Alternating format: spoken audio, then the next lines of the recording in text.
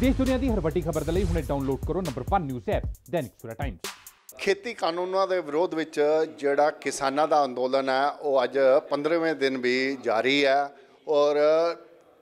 ਕਿਸਾਨ ਜਿੱਥੇ ਕਹਿੰਦੇ ਆ ਵੀ ਖੇਤੀ ਕਾਨੂੰਨ ਵਾਪਸ ਜਿੰਨਾ ਚਿਰ ਨਹੀਂ ਹੁੰਦੇ ਉਹਨਾਂ ਚਿਰ ਉਹਨਾਂ ਦਾ ਸੰਘਰਸ਼ ਜਿਹੜਾ ਸਮਾਪਤ ਨਹੀਂ ਹੋਏਗਾ। ਜਦ ਕਿ ਦੂਜੇ ਪਾਸੇ ਸਰਕਾਰ ਵੀ ਅੜ ਗਈ ਆ, ਉਹ ਕਹਿੰਦੀ ਹੈ ਖੇਤੀ ਕਾਨੂੰਨ ਜਿਹੜੇ ਆ, ਉਹ ਵਾਪਸ ਨਹੀਂ ਹੋਣਗੇ ਉਹਨਾਂ 'ਚ ਅਮੈਂਡਮੈਂਟ ਹੋ ਸਕਦੀ ਆ ਤੇ ਇਸ ਸਮੇਂ ਟਕਰਾਵ ਦੀ ਜਿਹੜੀ ਆ, ਉਹ ਸਥਿਤੀ ਬਣ ਗਈ ਆ। ਸਾਡੇ ਨਾਲ ਸ਼੍ਰੋਮਣੀ ਗੁਰਦੁਆਰਾ ਪ੍ਰਬੰਧਕ ਕਮੇਟੀ ਦੇ ਜਿਹੜੇ ਪ੍ਰੈਜ਼ੀਡੈਂਟ ਹੈ ਬੀਬੀ ਜਗੀਰ ਕੌਰ ਜੀ ਸਾਡੇ ਨਾਲ ਆ ਉਹਨਾਂ ਤੋਂ ਜਾਣਦੇ ਆ ਵੀ ਜਿਹੜੀ ਇਹ ਸਥਿਤੀ ਹੈ ਇਹ ਟਕਰਾਵ ਦੀ ਬਣ ਗਈ ਹੈ ਦੋਨੋਂ ਤਰਫ ਜਿਹੜੇ ਆ, ਅੜੀਅਲ ਰੁਖ ਅਖਤਿਆਰ ਕਰ ਲਿਆ। ਸੋਨੂੰ ਕੀ ਲੱਗਦਾ ਵੀ ਇਸ ਸਮੇਂ ਕੀ ਕਰਨਾ ਚਾਹੀਦਾ? ਕਿਸ ਤਰ੍ਹਾਂ ਇਹ ਜਿਹੜਾ ਮਸਲਾ ਹੈ ਸੋਲਡ ਆਊਟ ਹੋਏਗਾ? ਦੇਖੋ ਇਹਦੇ ਵਿੱਚ ਸਭ ਤੋਂ ਵੱਡੀ ਜ਼ਿੰਮੇਵਾਰੀ ਭਾਰਤ ਸਰਕਾਰ ਦੀ ਬਣਦੀ ਹੈ। ਕਿਉਂਕਿ ਜਿਹੜਾ ਮੁਖੀ ਹੁੰਦਾ ਉਹਨੇ ਬੱਚਿਆਂ ਨੂੰ ਆਪਣੇ ਨੂੰ ਬੁੱਕਲ 'ਚ ਲੈ ਕੇ ਆਪਣੇ ਪਰਿਵਾਰ ਨੂੰ ਬੁੱਕਲ 'ਚ ਲੈ ਕੇ ਸਮਝਾਉਣਾ ਹੁੰਦਾ ਜੇ ਉਹ ਇਹ ਮਹਿਸੂਸ ਕਰਦੇ ਆ ਕਿ ਇਹਦੇ 'ਚ ਜਿਹੜੇ ਕਾਨੂੰਨ ਪਾਸ ਕੀਤੇ ਗਏ ਸੀ ਉਹ ਗਲਤ ਹੈ ਸੋਧ ਕਰ ਰਹੇ ਆ ਜੇ ਸੋਧ ਹੀ ਕਰ ਰਹੇ ਆ ਤੇ ਇੱਕ ਵਾਰੀ ਰੱਦ ਕਰਕੇ ਫਿਰ ਦੁਬਾਰਾ ਜਿਹੜੀਆਂ ਜਿਹੜੀਆਂ ਚੀਜ਼ਾਂ ਉਹ ਸੋਧ ਕਰ ਰਹੇ ਆ ਉਹ ਲੋਕਾਂ ਦੇ ਵਿੱਚ ਪਹੁੰਚਾ ਦੇਣ। ਤਾਂ ਜੋ ਉਹਨੂੰ ਸ਼ਾਂਤੀ ਹੋ ਜੇ ਵੀ ਜਿਹੜੀ ਅਸੀਂ ਗੱਲ ਕਹੀ ਸੀ ਉਹ ਪੂਰੀ ਹੋ ਗਈ। ਤੇ ਇਹ ਉਹਨਾਂ ਨੂੰ ਆਪ ਹੀ ਚਾਹੀਦਾ ਕਿ ਇਹ ਸਾਰੇ ਲੋਕਾਂ ਨੂੰ ਅਮਨ ਸ਼ਾਂਤੀ ਦੇ ਨਾਲ ਭਾਈਚਾਰਕ ਸਾਂਝ ਬਣਾਈ ਰੱਖਣ ਵਾਸਤੇ ਦੇਸ਼ ਦੀ ਖੁਸ਼ਹਾਲੀ ਵਾਸਤੇ ਅਸੀਂ ਸਾਰੇ ਟਕਰਾਅ ਨਾ ਕਰੀਏ ਕਿਉਂਕਿ ਉਹਨਾਂ ਨੇ ਤੇ ਮੰਗ ਰੱਖੀ ਹੈ। ਉਹ ਤੇ ਆਪਣੀ ਮੰਗ ਲੈ ਕੇ ਗਏ ਹੈ ਆਪਣਾ ਸੰਘਰਸ਼ ਵਿੱਢ ਕੇ ਬੈਠੇ ਔਰ ਬੜੀ ਇਸ ਗੱਲ ਦੀ ਸਕੂਨ ਹੈ ਕਿ ਬੜੀ ਸਿਦਕਤ ਦੇ ਨਾਲ ਲੱਗੇ ਹੈ। ਕੋਈ ਐਸਾ ਉਹਨਾਂ ਨੇ ਕੰਮ ਨਹੀਂ ਕੀਤਾ ਜਿਹਦੇ ਨਾਲ ਕੋਈ ਲਾਸ ਹੋਵੇ, ਕਿਸੇ ਦਾ ਨੁਕਸਾਨ ਹੋਵੇ, ਸਗੋਂ ਉੱਥੇ 17 ਸਾਡੇ ਕਿਸਾਨ ਜਿਹੜੇ ਆ, ਉਹ ਸ਼ਹੀਦ ਵੀ ਪਾ ਗਏ। ਸੋ ਇਹ ਚੀਜ਼ਾਂ ਦਾ ਅੱਜ ਜੇ ਭਾਰਤ ਦੇ ਮੁਖੀ ਨੂੰ ਨਹੀਂ ਪਤਾ ਲੱਗਦਾ, ਸਰਕਾਰ ਦੇ ਮੁਖੀ ਨੂੰ, ਮੈਂ ਸਮਝਦੀ ਹਾਂ ਇਹ ਤੇ ਬਹੁਤ ਵੱਡਾ ਡੈਮੋਕ੍ਰੇਸੀ ਦਾ ਘਾਣ ਹੋ ਰਿਹਾ। ਇਹ ਡੈਮੋਕ੍ਰੇਸੀ ਦਾ ਅੱਜ ਲੋਕ ਰਾਜ ਦਾ ਜਿਹੜਾ ਕਤਲ ਹੈ, ਉਹ ਸਮਝਿਆ ਜਾਏਗਾ। ਤੇ ਸਭ ਤੋਂ ਵੱਡੀ ਗੱਲ ਕਿ ਜਿਹੜੀ ਹਰ ਗੱਲ ਨੂੰ ਉਹ ਕਹੀ ਜਾ ਰਹੀ ਹੈ ਕਿ ਇੱਕ ਦੇਸ਼, ਇੱਕ ਭਾਸ਼ਾ ਜੀਐਸਟੀ ਵਰਗੀ ਚੀਜ਼ ਜੋ ਵੀ ਉੱਥੇ ਇਲੈਕਟ੍ਰਿਸਿਟੀ ਦਾ ਬਿੱਲ ਲੈ ਕੇ ਆਏ ਹੈ, ਜਾਂ ਇੱਕੋ ਹੀ ਕੰਪਨੀ ਨੂੰ ਸਾਰੀ ਫਸਲ ਚੁਕਾਉਣ ਵਾਸਤੇ ਗੱਲ ਕੀਤੀ ਜਾ ਰਹੀ ਹੈ, ਦੇਖੋ ਖਤਰਾ ਤੇ ਪੈਦਾ ਹੋ ਰਿਹਾ ਕਿ ਸਾਰੀ ਚੀਜ਼ ਸੈਂਟਰਲਾਈਜ਼ਡ ਇੱਕੋ ਥਾਂ ਤੇ ਹੋ ਜਾਏ ਸੈਂਟਰ ਕੋਲ। ਤੇ ਫਿਰ ਸਾਡਾ ਫੈਡਰਲ ਢਾਂਚਾ ਅਸੀਂ ਕਹਿੰਦੇ ਆ ਉਹਦਾ ਤੇ ਫਿਰ ਬਹੁਤ ਵੱਡਾ ਨੁਕਸਾਨ ਹੋ ਰਿਹਾ ਸੋ ਉਹਦੇ ਉੱਤੇ ਬਹੁਤ ਵੱਡਾ ਹਮਲਾ ਹੋ ਰਿਹਾ ਮੈਂ ਮੈਂ ਇੱਕ ਗੱਲ ਹੋਰ ਜਾਨਣਾ ਚਾਹਨਾ ਐਸਜੀਪੀਸੀ ਇੱਕ ਬਹੁਤ ਬੜੀ ਸੰਸਥਾ ਹੈ ਔਰ ਸਿੱਖਾਂ ਨੂੰ ਕੀ ਬਾਕੀ ਸਾਰੇ ਧਰਮ ਦੇ ਲੋਕ ਵੀ ਇਸ ਤੇ ਵਿਸ਼ਵਾਸ ਕਰਦੇ ਆ ਔਰ ਕਿਸਾਨ ਤਾਂ ਸਾਰੇ ਹੀ ਲਗਭਗ ਐਸਜੀਪੀਸੀ ਨਾਲ ਜੁੜੇ ਹੋਏ ਆ। ਔਰ ਤੁਸੀਂ ਐਸਜੀਪੀਸੀ ਦੇ ਮੁਖੀ ਹੋ। ਇਸ ਸਮੇਂ ਤੁਹਾਡਾ ਕੀ ਯੋਗਦਾਨ ਹੈ ਉਸ ਅੰਦੋਲਨ ਵਿੱਚ? ਜਾਂ ਐਸਜੀਪੀਸੀ ਦਾ ਕੀ ਯੋਗਦਾਨ ਹੈ? ਐਸਜੀਪੀਸੀ ਨੇ ਹਮੇਸ਼ਾ ਜਿੱਥੇ ਵੀ ਦੇਸ਼ ਵਿੱਚ ਕੀ ਵਰਲਡ ਵਿੱਚ ਵੀ ਕਿਤੇ ਕੋਈ ਆਫਤ ਆਉਂਦੀ ਹੈ, ਕੋਈ ਪੀੜ ਹੁੰਦੀ ਹੈ ਕੋਈ ਤੂਫਾਨ ਆ ਜਾਂਦੇ ਹੈ ਸੁਨਾਮੀ ਆ ਜਾਂਦੀ ਹੈ ਕੋਈ ਹੜ੍ਹ ਆ ਜਾਂਦੇ ਹੈ ਕੋਈ ਸੋਕਾ ਲੱਗ ਜਾਂਦਾ ਹੈ ਜਾਂ ਬਿਮਾਰੀ ਫੈਲ ਜਾਂਦੀ ਹੈ ਪਿੱਛੇ ਕਰੋਨਾ ਅ, ਕੇਵਡ ਕੋਵਿਡ 19 ਆਇਆ ਉਹਦੇ ਵਿੱਚ ਵੀ ਮੇਰਾ ਖਿਆਲ ਹੈ ਕਿ ਦਿਲ ਖੋਲ ਕੇ ਸੇਵਾਵਾਂ ਕੀਤੀਆਂ। ਸੋ ਕਿਤੇ ਵੀ ਕੋਈ ਗੱਲ ਹੋਈ ਹੈ ਤੇ ਦਿਲ ਖੋਲ ਕੇ ਸੇਵਾ ਮਨੁੱਖ ਤੇ ਅੱਦੀ ਕਰਦੇ ਆ ਅਸੀਂ ਕਦੀ ਇਹ ਨਹੀਂ ਦੇਖਿਆ ਕਿ ਸਾਡੇ ਇਹਦੇ ਚ ਕੀ ਸਾਨੂੰ ਮਿਲਦਾ ਕੀ ਹੈ ਨੁਕਸਾਨ ਕੀ ਹੈ ਅਸੀਂ ਇਹ ਨਹੀਂ ਦੇਖਦੇ ਅਸੀਂ ਤੇ ਸੇਵਾ 'ਚ ਤੁਰਦੇ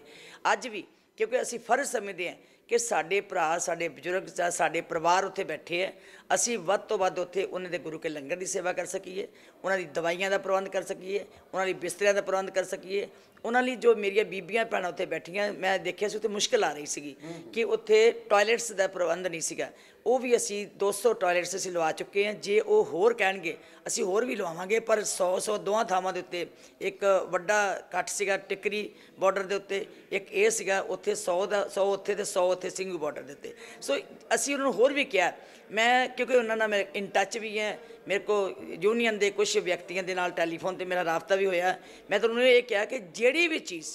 ਜੋ ਤੁਸੀਂ ਸਾਨੂੰ ਹੁਕਮ ਲਾਓਗੇ, ਅਸੀਂ ਉੱਥੇ ਸੇਵਾ ਕਰਨ ਲਈ ਤਿਆਰ ਹੈ। ਸਾਡੇ ਵਾਸਤੇ ਸਭ ਤੋਂ ਪਹਿਲਾਂ ਕਿਸਾਨ ਹੈ, ਸਾਡੇ ਤੋਂ ਪਹਿਲਾਂ ਇਨਸਾਨ ਹੈ, ਸਾਡੇ ਵਾਸਤੇ ਸਭ ਤੋਂ ਪਹਿਲਾਂ ਮਨੁੱਖਤਾ ਦੀ ਸੇਵਾ ਹੈ। ਅਸੀਂ ਕੋਈ ਪਾਰਟੀ ਪਾਰਟੀਬਾਜ਼ੀ ਦੀ ਗੱਲ ਨਹੀਂ ਕਰਦੇ, ਕਿਉਂਕਿ ਸਾਡੇ ਵਾਸਤੇ ਆਵਾਮ ਜਿਹੜਾ ਉਹ ਸਾਡਾ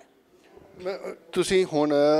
ਕਹਿੰਦੇ ਪੋਲੀਟੀਕਲ ਲੀਡਰ ਤੋਂ ਉੱਪਰ ਉੱਠ ਗਏ ਹੋ ਕਿਉਂਕਿ ਤੁਸੀਂ ਹੁਣ ਐਸਜੀਪੀਸੀ ਦੇ ਪ੍ਰੈਜ਼ੀਡੈਂਟ ਹੋ ਤੇ ਐਜ ਏ ਐਸਜੀਪੀਸੀ ਕਿਉਂਕਿ ਪੋਲੀਟੀਕਲ ਲੀਡਰ ਤਾਂ ਉੱਥੇ ਉਹਨਾਂ ਨੇ ਕਿਸਾਨਾਂ ਨੇ ਬੈਨ ਵੀ ਕਰ ਰੱਖਿਆ ਔਰ ਪੋਲੀਟੀਕਲ ਲੀਡਰ ਜਾ ਵੀ ਨਹੀਂ ਰਹੇ ਆ। ਤੁਸੀਂ ਉਹਨਾਂ ਦਾ ਹੌਸਲਾ ਵਧਾਉਣ ਲਈ ਜਾਂ ਉਹਨਾਂ ਦੀਆਂ ਪ੍ਰੋਬਲਮ ਦੇਖਣ ਲਈ ਤੁਸੀਂ ਕੋਈ ਆਪਣਾ ਕੋਈ ਅਜਿਹਾ ਕਾਰਜਕ੍ਰਮ ਬਣਾਇਆ ਕਿ ਤੁਸੀਂ ਵਿਜ਼ਿਟ ਕਰੋ ਉਹਨਾਂ ਦਾ ਵੀ ਉਸ 'ਚ ਕੀ ਕੀ ਉੱਥੇ ਦਿੱਕਤਾਂ ਆ ਰਹੀਆਂ ਜਾਂ ਉਹਨਾਂ ਨੂੰ ਕਿਸ ਤਰ੍ਹਾਂ ਸੋਲਡ ਆਊਟ ਕੀਤਾ ਜਾ ਸਕਦਾ? ਦੇਖੋ, ਫਿਲਹਾਲ ਮੈਂ ਸਾਰੇ ਪ੍ਰਬੰਧ ਕੀਤੇ ਔਰ ਸਾਰਿਆਂ ਥਾਵਾਂ ਦੇ ਉੱਤੇ ਤਿੰਨ ਤਿੰਨ ਮੈਂਬਰ ਜਿੱਥੇ ਪੱਕੇ ਨਿਯੁਕਤ ਕੀਤੇ ਆ ਸਾਰੇ ਸਾਡੇ ਮੈਨੇਜਰ ਲੱਗੇ ਆ, ਸਕੱਤਰ ਲੱਗੇ ਆ, ਸੇਵਾਦਾਰ ਲੱਗੇ ਹੋਏ ਆ। ਉੱਥੇ ਨਾਲ ਨਾਲ ਜਿੰਨੇ ਮੈਂਬਰ ਆ ਸਾਡੇ, ਉਹ ਵਾਰੀ-ਵਾਰੀ ਉੱਥੇ ਜਾ ਰਹੇ ਆ ਔਰ ਮੈਂ ਉਹਨਾਂ ਨਾਲ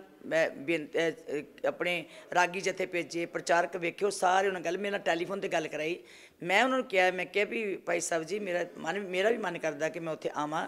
ਤੇ ਉਹ ਕਹਿਣ ਲੱਗੇ, ਬੀਬੀ ਜੀ, ਤੁਸੀਂ ਚਿੰਤਾ ਨਾ ਕਰੋ, ਤੁਹਾਡੇ ਸਾਰੇ ਇੱਥੇ ਸੇਵਾਵਾਂ ਚੱਲ ਰਹੀਆਂ, ਤੁਸੀਂ ਪਿੱਛੇ ਪੈਰਵਾਈ ਕਰੀ ਜਾਓ। ਜੇ ਤੁਸੀਂ ਮਹਿਸੂਸ ਕਰੋਗੇ, ਜੇ ਸਾਨੂੰ ਲੱਗੇਗਾ ਤੇ ਤੁਸੀਂ ਬੇਸ਼ੱਕ ਆਓ ਪਰ ਤੁਹਾਡੀ ਇੱਥੇ ਹਾਜ਼ਰੀ ਬਿਲਕੁਲ ਚੱਲ ਰਹੀ ਹੈ। ਮੈਨੂੰ ਉਹਨਾਂ ਕਿਸਾਨਾਂ ਨੇ ਕਿਹਾ ਕਿ ਕਈ ਵਾਰੀ ਇੱਥੇ ਇਦਾਂ ਹੁੰਦਾ ਹੈ ਕਿ ਇੱਥੇ ਵੀ ਪੋਲੀਟੀਕਲ ਜੇ ਤੁਸੀਂ ਵੀ ਆਂਦੇ ਹੋ ਪਰ ਲੋਕੀ ਤੁਹਾਨੂੰ ਉਸ ਨਜ਼ਰ ਨਾਲ ਵੀ ਦੇਖਦੇ ਆ ਕਿ ਉਸ ਸ਼੍ਰੋਮਣੀ ਅਕਾਲੀ ਦਲ ਦੇ ਖਾਸ ਮੁਖੀਆਂ ਦੇ ਵਿੱਚੋਂ ਹੈ ਤੇ ਲੋਕੀ ਸੋਚਣਗੇ ਵੀ ਇੱਕ ਇਹ ਸ਼ਾਇਦ ਪੋਲੀਟੀਕਲ ਇਹਨੂੰ ਬਣਾਉਣਾ ਚਾਹੁੰਦੇ। ਸੋ ਮੈਂ ਨਹੀਂ ਚਾਹੁੰਦੀ ਕਿ ਮੇਰੇ ਭਾਵੇਂ ਮੈਂ ਧਾਰਮਿਕ ਸੰਸਥਾ ਦੀ ਮੁਖੀ ਹਾਂ ਜਦੋਂ ਮੈਂ ਕੰਮ ਸਾਰਾ ਕਰ ਰਹੀ ਹਾਂ ਪਿੱਛੇ ਬੈਠ ਕੇ 17 ਸ਼ਹੀਦ ਹੋ ਗਏ 17 ਨੂੰ ਅਸੀਂ ਲੱਖ ਲੱਖ ਰੁਪਏ ਸਾਡੇ ਚੈੱਕ ਤਿਆਰ ਹੋ ਗਏ ਮੈਂ ਜਲਦੀ ਉਹਨਾਂ ਦੇ ਘਰਾਂ 'ਚ ਜਾ ਕੇ ਦੇਣ ਲੱਗੀ। ਕਿਉਂਕਿ ਮੈਨੂੰ ਕੋਈ ਉੱਥੇ ਨਹੀਂ ਹੈ, ਕੌਣ ਸ਼ਹੀਦ ਹੋਇਆ, ਹਰਿਆਣੇ ਦਾ ਹੋਇਆ, ਪੰਜਾਬ ਦਾ ਹੋਇਆ, ਕਿਹੜਾ ਪਰਿਵਾਰ ਹੈ, ਕੋਈ ਐਸੀ ਗੱਲ ਨਹੀਂ, ਅਸੀਂ ਉਹਨਾਂ ਦੇ ਘਰਾਂ ਵਿੱਚ ਜਿਹੜੀ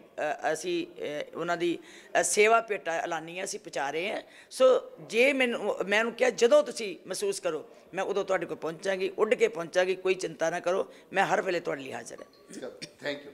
ਇਹ ਸੀਗੇ ਬੀਬੀ ਜਗੀਰ ਕੌਰ ਜੀ, ਜੋ ਕਿ ਸ਼੍ਰੋਮਣੀ ਗੁਰਦੁਆਰਾ ਪ੍ਰਬੰਧਕ ਕਮੇਟੀ ਦੇ ਜਿਹੜੇ ਪ੍ਰੈਜ਼ੀਡੈਂਟ ਆ। ਔਰ ਉਹਨਾਂ ਦਾ ਕਹਿਣਾ ਹੈ ਵੀ ਜਿਹੜਾ ਕਿਸਾਨ ਦਾ ਜਿਹੜਾ ਅੰਦੋਲਨ ਚੱਲ ਰਿਹਾ ਦਿੱਲੀ, ਉਸ 'ਚ ਐਸਜੀਪੀਸੀ ਵੀ ਆਪਣਾ ਪੂਰਾ ਰੋਲ ਜਿਹੜਾ ਅਦਾ ਕਰ ਰਹੀ ਹੈ। ਉੱਥੇ ਹਰ ਤਰ੍ਹਾਂ ਦੀ ਜਿਹੜੀ ਜ਼ਰੂਰਤ ਦਾ ਸਮਾਨ ਹੈ ਐਸਜੀਪੀਸੀ ਵੱਲੋਂ ਉੱਥੇ ਭੇਜਿਆ ਜਾ ਰਿਹਾ। ਇੰਨਾ ਹੀ ਨਹੀਂ, ਕਿਸਾਨ ਅੰਦੋਲਨ 'ਚ ਜਿਹੜੇ 17 ਕਿਸਾਨਾਂ ਦੀ ਡੈਥ ਹੋਈ ਆ, ਕਿਸੇ ਵੀ ਵਜ੍ਹਾ ਨਾਲ ਹੋਈ ਆ, ਉਹਨਾਂ ਨੂੰ ਵੀ ਐਸਜੀਪੀਸੀ 1-1 ਲੱਖ ਰੁਪਏ ਦਾ ਚੈੱਕ ਦੇ ਰਹੀ ਆ। ਔਰ ਬਹੁਤ ਜਲਦੀ ਉਹ ਜਿਹੜਾ ਚੈੱਕ ਹੈ ਉਹਨਾਂ ਪਰਿ- ਕਿਸਾਨਾਂ ਦੇ ਪਰਿਵਾਰਿਕ ਸਦੱਸਿਆਂ ਦੇ ਕੋਲ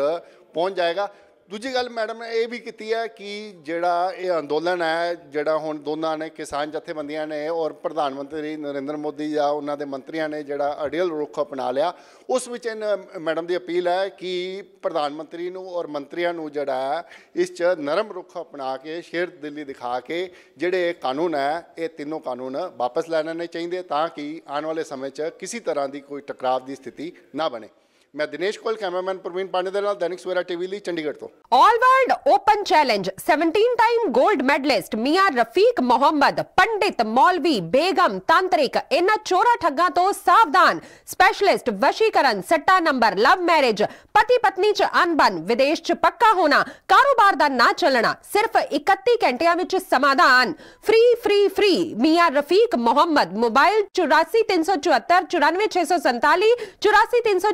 94648